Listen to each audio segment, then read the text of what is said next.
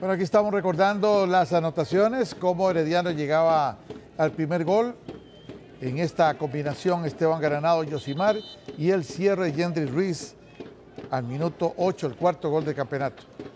Mario, un equipo muy contundente, el Herediano, que se beneficiaba también por los hierros del equipo Santos en la marcación. Aquí la mala salida de Eric Sánchez y cómo Yendry ponía el 1 por 0. Pero tendría recuperación después por la forma en que llega Kenneth Dixon. Hay que recordar que Yendry Ruiz había marcado el 1 eh, por 0. Yendry hizo el primero al, 8, Jonathan Hansen al 18, el 2 por 1 de Kenneth Dixon al 31. Y el 2 a 2. Y el 2 a 2 aquí en el 48.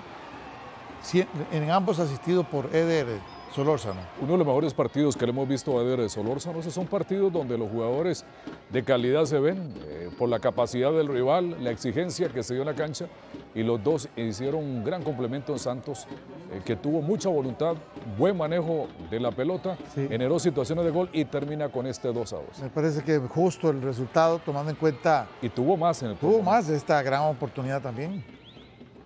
Eh, otra más de Kenneth hizo antes de abandonar por lesión. El remate donde aparece la buena figura de Leo Moreira. Y luego la de Jenny Ruiz, que logró desviar a Eri Sánchez.